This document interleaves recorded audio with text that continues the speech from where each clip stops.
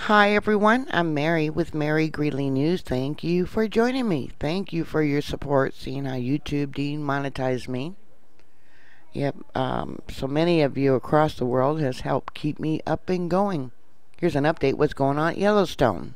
As you can see, there's certain places where the uh, magma coming up from under the crust of the earth has melted the snow Yep, and the steam has been looking a little gray. Looks like it stopped again.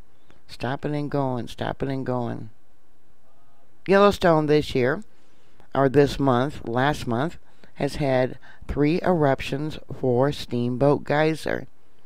The 8th, 27th, and the 17th of November. That makes 45 eruptions so far this year for Steamboat Geyser. Breaking records once again. Supposedly, for the month of November, there was only 107 earthquakes recorded at Yellowstone. Yeah, it stopped again, didn't it? But we all know that they downgrade the earthquakes and don't report them all, don't we? Yeah. Looks like it's trying to snow there at Yellowstone once again. Yeah, I just hate that one. It's not a smooth stream. I, there at the uh, Yellowstone National Park live webcam. Yeah. They are only reporting seven earthquakes for the Yellowstone and surrounding area, the largest being a 2.3 up by Lincoln, Montana. Shallow, 5.8 kilometers in depth. So that would be 3.6 miles in depth, and all earthquakes are measured from sea level. Frenchtown, where is that? I don't see it. Uh, 12.8 kilometers um, a 0.4, that would be along the Snake River Plateau, 11.4 kilometers in depth, um, a 1.1 today at Old Faithful, 7.6 kilometers in depth. So that would be 4.7 miles above sea level.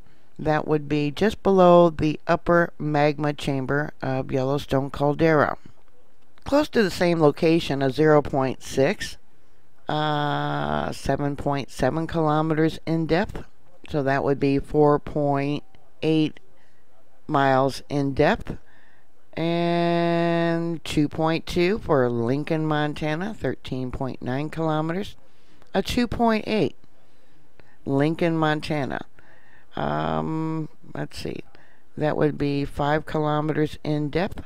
And that's all the reporting for today. Lincoln, Montana is near the uh, North American craton, so the lithosphere is damaged there. Yeah, it was probably trying to separate at one time. I want to add that on November 9th was the largest earthquake that they had for the month of November there at the Yellowstone National Park. It was a magnitude 3.1. Yeah, you can see sometimes how the steam is going gray. Yeah, seems to be a lot more active lately. See that? See how that's gray? Yeah. Let's bring it down a little bit. We can see this hot spot. I also want to add that I am on BitChute, B-I-T-C-H-U-T-E. If I get shut down on YouTube, I am on BitChute. I put everything on there also. I'm also on Patreon and I have PayPal for donations to keep me going. As of 12 noon, the static cam for Yellowstone Lake, yeah, it looks like the waters around the one little island are starting to get a little frozen, don't they? Using Swarm, here's all the earthquakes that occurred there. This is from a borehole, a very deep well there at Yellowstone Lake. 510 Universal Time. I'm going to show you all three monitors. This bottom one is Yellowstone Lake. Here we have Norris Junction. Kind of hard to see up here at Madison River. And we got another one, uh, 720. And we got another one at 735. Now they did report the one at 735 and 720, a 0.6 and a 1.1. Uh, why not this other one? At 510. So we got this one here, it shows up, 720. You can see it brought up hot gases. Uh, 735, hot gases also. But this other one, let me bring it back down. Okay. Yeah, 510. See the heat that came up? See the difference? I don't see gases, but it brought up heat. A lot of heat. What am I missing? Here we have Maple Creek. There's that earthquake. Holmes Hill. Was there a large earthquake someplace else? Yep, Aleutian Islands at 501. Yep. A 6.0, 27.3 kilometers in depth. I've talked about how the earthquakes around the world, large ones, it seems like their energy is directed towards Yellowstone. Yeah. Afterwards, there was a 4.3, 35.0 kilometers in depth, a little bit deeper. This one was 27.3 kilometers. So I imagine it probably shook up the volcanoes there along the west coast, you know, Mount Rainier, Mount St. Helens, etc. Later on, we had a lot of gases coming up. Again, this is the monitor. It's a deep well, probably about 500 feet under the ground. There at Yellowstone Lake, yeah. Look at all this that was going on. And this is what it was showing when I pulled the files. Fairly large signature that came in, huh? But actually, see, we got one here at uh, 7, maybe 07, 08. And this one at 720 and 735, they did report. I'll pull it over for you. And we'll go ahead a little bit. There's a small one just after 1 o'clock. Now that's universal time. 101 universal time. Yeah, you can see it brought up some gases. And we'll go up here. Yeah, a lot of activity was going on. We got another little one here. Another little one there. But this one here, let's look at its signature. Yep. And we'll look at this signature. And this one that they did report. And that one. Alright, here we have the monitor for Norris Junction. This is a borehole. This again is a very deep well, about 500 feet under the ground. There's the earthquake at 735. Yeah, now that one brought up some heat, didn't it? You can see two lines of melt. They're saying that earthquake was a 1.1 right along the Madison River area. There you got Purple Mountain, we got Gibson River, and here's Yellowstone. But even manual, done by the scientists, at Norris Junction, they said it was a 1.48, not a 1.1. Also manual, Purple Mountain was a 1.22. Uh, Mary Lake, 1.27. And they're not giving us any details by the computer. Only manual readings. These readings evidently came from the University of Utah. Here we have another small one at 707. That one is not being reported. We got another one here at 740.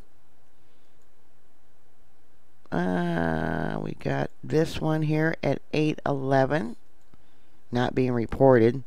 Got quite a few here. Um, 812.